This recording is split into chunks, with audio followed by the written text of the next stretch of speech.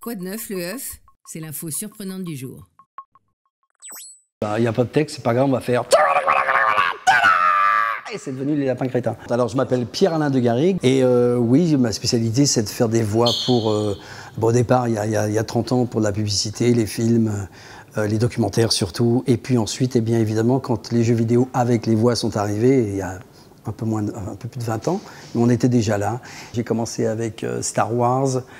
Rayman. euh, Qu'est-ce que j'ai fait dans Star Wars? Ça, Je faisais. Euh, le- il y en a un que j'ai adoré faire, c'était la- l'ambassadeur de Jabba the Hutt. Je ne sais pas si vous vous rappelez qui faisait.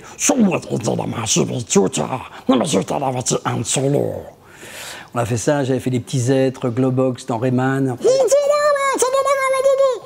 Et puis évidemment avec Ubisoft, euh, les lapins crétins, on les a un petit peu inventés, euh, absolument par hasard. Tout le monde était parti et ils avaient fait euh, deux petits personnages à gauche d'une cinématique et il n'y avait aucun texte à faire.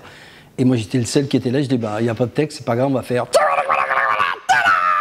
Et c'est devenu les lapins crétins. Je me rappelle avoir fait un. J'ai adoré faire d'ailleurs, c'était euh, euh, l'Odyssée d'Abe. Et donc euh, avec cette voix qui faisait Suis-moi, suis-moi, suis-moi. Tout le temps, ça, j'ai adoré faire celui-là. Et puis ensuite, eh ben, on s'est retrouvé dans Warcraft. Euh, Il y en a un que j'ai adoré faire aussi, c'est Le Brigand de Diablo, avec une voix un peu comme ça, qui se la jouait un peu. Beaucoup d'orques aussi, des trucs euh, un petit peu agressifs.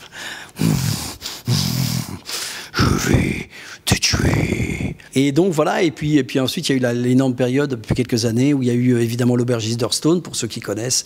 Donc c'est un, grand, un personnage emblématique du jeu, donc Hearthstone, euh, qui dit tout le temps, qui ouvre le, le- jeu et qui dit euh, Bienvenue à l'auberge, bienvenue, approchez-vous près du foyer. Et ça, les gens adoraient ça. Et puis après, évidemment, il y a beaucoup de choses. Il y a, en ce moment, je fais beaucoup de demandes, enfin, en tout cas, on me demande beaucoup de, de, de rappeler que je suis la voix de Kled dans League of Legends.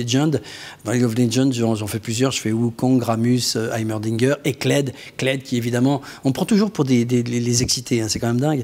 Et alors que j'ai jamais rien pris de ma vie. Je suis tombé dedans quand j'étais petit.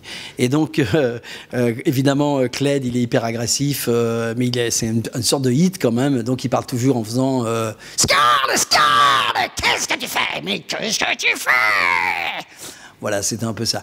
Donc en fait, voilà, ça c'est mon métier, c'est de, de- de- péter un câble, euh, euh, péter un câble dans, dans- dans- un, dans un contexte qui est très écrit. C'est-à-dire qu'en fait, il faut le savoir, on n'improvise pas du tout, en fait, très très rarement. On, suit un peu ce que les Américains ou les Allemands, si c'est un jeu allemand, on, on fait, on suit un petit peu euh, ce qui doit être fait. Donc en fait, on est un peu des imitateurs, mais euh, sur, sur des formes mélodiques de, de, de- de- voix et de- et d'acteurs. À bientôt sur le HuffPost.